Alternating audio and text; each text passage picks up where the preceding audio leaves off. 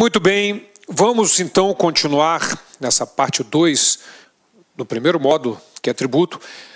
Já vimos que são cinco espécies tributárias, vimos a definição de tributo e as cinco espécies tributárias, taxas, impostos, contribuições de melhoria, contribuições para fiscais e empréstimos compulsórios, estamos estudando as taxas.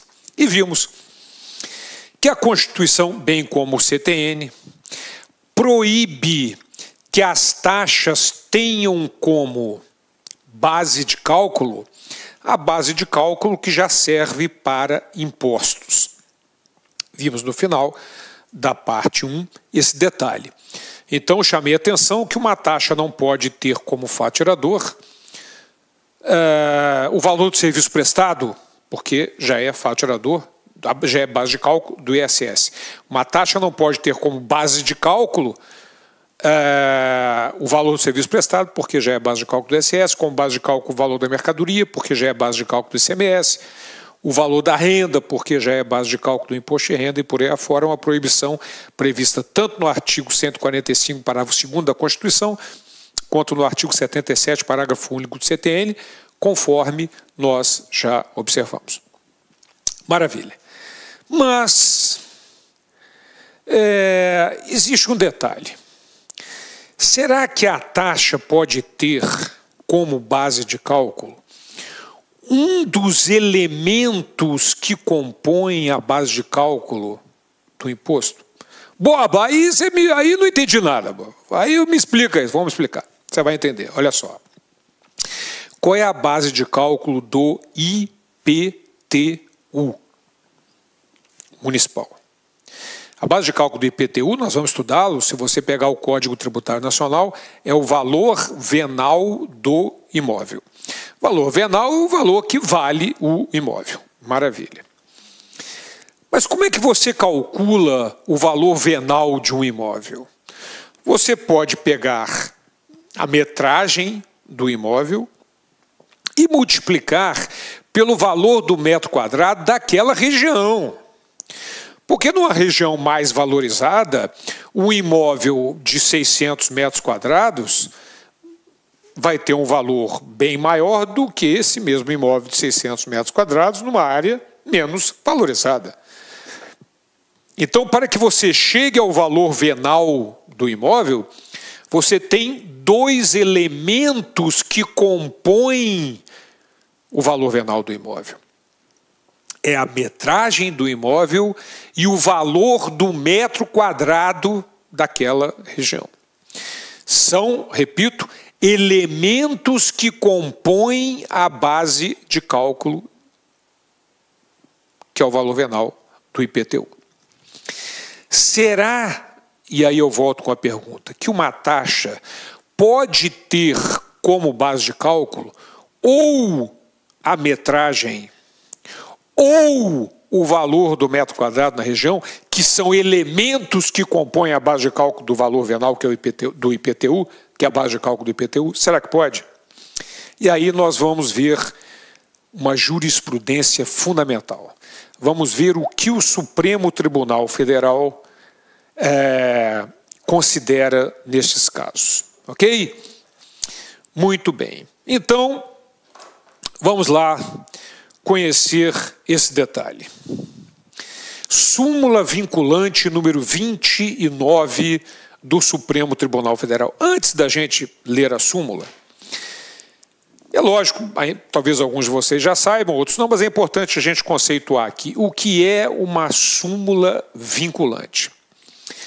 O STJ e o STF, tribunais superiores, eles quando uma decisão ela vai se repetindo sempre no mesmo sentido, eles emitem súmulas sobre aquela matéria. Essas súmulas comuns, elas orientam o juiz singular e os tribunais inferiores orientam a tomar uma decisão no mesmo sentido, porque eles sabem que ao chegar nos tribunais superiores, nas últimas instâncias, STJ, STF, dependendo da matéria, lá essa decisão vai ser tomada dessa forma. Então, as súmulas normais do STJ e mesmo do STF, elas não obrigam os tribunais inferiores e os juízes inferiores. Eles podem decidir de uma forma contrária à súmula, só que vai chegar nos tribunais, isso vai ser alterado, a decisão dele vai ser alterada para ficar de acordo com a súmula. Maravilha. Agora, existem algumas súmulas, alguns assuntos que o Supremo considera tão fundamentais e tão importantes e tão repetidos, as decisões tão repetidas, que criou-se a súmula vinculante. Esta súmula vinculante obriga os tribunais inferiores e os juízes a decidirem de acordo com aquela súmula, não tem como fugir.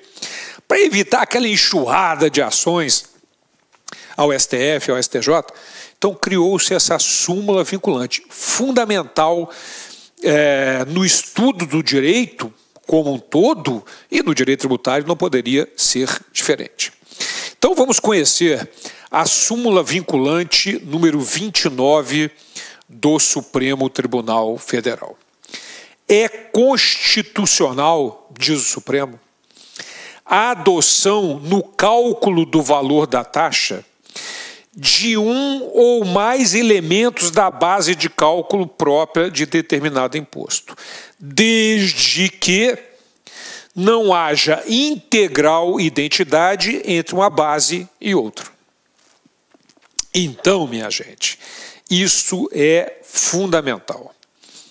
Ou seja, o Supremo Tribunal Federal, através da súmula vinculante número 29, considera que não há nenhum impedimento, no exemplo que eu dei, de que uma taxa tenha como base de cálculo o valor da metragem do imóvel ou o valor do metro quadrado daquela região, desde que não haja uma total identidade, que seria o valor venal, que seria a multiplicação da área pelo valor do metro quadrado daquela região. Então, decisão fundamental. As taxas podem ter como fato gerador apenas um dos elementos que compõem a base de cálculo dos impostos, desde que não haja uma total identidade. Então, a taxa não pode ter como base de cálculo valor venal, porque isso já é base de cálculo do IPTU. Mas pode ter a metragem, que é um dos elementos que compõem o valor venal, que é a base de cálculo do IPTU. Ok? Maravilha! Mas nós não terminamos com taxa. Vamos ver mais alguns detalhes. Uh, artigo 78 do Código Tributário Nacional. O artigo 78 traz uma, antes da gente ler, ele traz uma definição jurídica daquilo que eu falei com vocês, que é o poder de polícia. Que é o poder que tem a administração de fazer com que sejam respeitados direitos e garantias individuais, as normas relativas à higiene, segurança, comercialização, etc. Então vamos ver, mas é fundamental que vocês conheçam a linguagem jurídica do CTN a respeito disso. Vamos lá. Artigo 78 do CTN considera-se poder de polícia a atividade da administração pública que, limitando ou disciplinando direito, interesse ou liberdade, regula a prática de ato ou abstenção de fato. Vamos dar uma paradinha aqui. Olha só, regula a prática de ato ou a abstenção de fato. O que é isso? É a prática de ato é o que é obrigado a ser feito, é obrigatório ser feito. E a abstenção de fato é o que não pode ser feito. A taxa regula essas duas coisas. Ok? Então ele regula, por exemplo, a taxa de posturas municipais, regula que não pode ser colocado uh, aqueles balcões de roupa, tal, liquidação no meio da calçada. Certo? Então, é, por outro lado, uma taxa é, de poder de polícia né, de, com relação às instalações sanitárias obriga a manter as instalações sanitárias em boas condições, etc. Então, é, é uma taxa que obriga que algo seja feito ou proíbe que algo seja feito.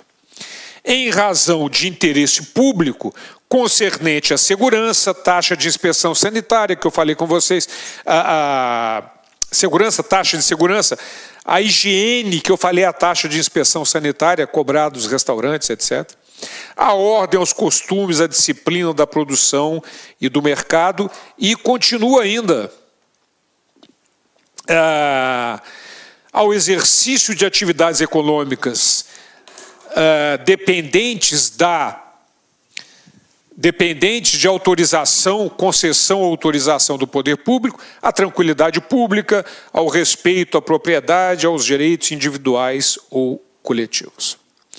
Então, em resumo, é o poder que tem a administração de fazer com que sejam respeitados direitos e garantias individuais, normas relativas à higiene, segurança, comercialização, industrialização e por aí afora taxas que nós já vimos que podem ser proibitivas no sentido de que não se faça algo ou é, ordenatórias no sentido que seja feita alguma coisa. Legal? Então, este é o poder de polícia do previsto no Código Tributário Nacional. Mas tem mais um detalhezinho para nós conversarmos aqui ainda. É, parágrafo único do artigo 178. Porque, antes de olharmos o parágrafo, eu venho falando que o fato gerador da taxa, um deles, é o exercício regular do poder de polícia. Que, que é regular? Eu venho falando essa palavrinha desde o início. Exercício regular do poder de polícia. Regular é aquele dentro dos moldes da lei. Porque pode dar uma impressão de que o regular seja com relação à constância. Tal. Não. Exercício regular do poder de polícia é aquele dentro dos limites da lei, sem abuso de autoridade, sem desvio de poder. Esse é o exercício regular do poder de polícia. Então, está definido que, no parágrafo único do artigo 78 do CTN, considera-se regular o exercício do poder de polícia, quando desempenhado pelo órgão competente nos limites da lei aplicável, com observância do processo legal e tratando-se de atividade que a lei tenha como discricionária, sem abuso ou desvio de poder. Ok? Então, este é o, o, o que significa a palavra regular. Exercício regular do poder de polícia. Mas ainda a respeito de taxa, nós precisamos conhecer mais um dispositivo. Vamos lá. É, artigo 79 do CTN. Os serviços públicos a que se refere o artigo 77, nós já vimos isso, vamos ver só a linguagem jurídica agora considera-se utilizados pelo contribuinte efetivamente quando por ele usufruídos a qualquer título. É quando o cara produz lixo, coloca na frente da sua casa e o serviço colete lixo pega e leva o lixo embora. Utilização efetiva. Mas considera-se utilização potencial, ou seja, utilizado potencialmente, quando, sendo de utilização compulsória, sejam postos à sua disposição mediante atividade administrativa em efetivo funcionamento. Então, voltando ao exemplo. Olá, meus amigos, minhas amigas, sou o professor Luiz Antônio Carvalho e com muito prazer, muita satisfação, estou aqui para fazer um convite muito especial muito especial para você que quer fazer o concurso de auditor fiscal da Receita Estadual do Distrito Federal. Concurso esse que já foi autorizado, nós estamos aguardando o edital ainda para 2018 e, claro, nós aqui da Lá Concursos, nós temos o melhor e o maior programa de carreiras fiscais do Brasil na atualidade. Nós conseguimos aí unificar uma equipe top de linha, uma equipe aí que está à disposição da Lá Concursos e é à sua disposição, aulas super atualizadas e aulas super competitivas, detalhadas, como você acabou de assistir. Gente, nosso curso pré-edital, ele tem um prazo de acesso de 180 dias, Durante esse período, você pode assistir quantas vezes quiser e na hora que desejar. Durante esse período, preste atenção, você terá direito a custo zero de todas as atualizações que forem necessárias para o concurso do, de fiscal aí do Distrito Federal. Inclusive o seguinte, vamos supor, você se matriculou hoje, daqui uma semana, se Deus quiser, o edital foi publicado. Se o edital for publicado e nós tivermos aí alguma divergência de conteúdo, vocês podem ficar tranquilos que nós aqui da Lá Concursos, nós iremos fazer uma atualização a custo zero dentro do seu prazo de acesso. Bacana, meus amigos? Então, espero vocês aqui na Lá Concursos, no nosso curso de carreiras fiscais do Distrito Federal. Nós estamos em atuação em 2018 para o concurso de fiscal também de DF, do DF, DF, Goiás, Bahia, Santa Catarina e Rio Grande do Sul, sob a coordenação do nosso grande mestre, professor André Fantoni. Tá certo, meus amigos? Espero vocês, então, aqui na Lá Concurso. Fui, tchau. Clique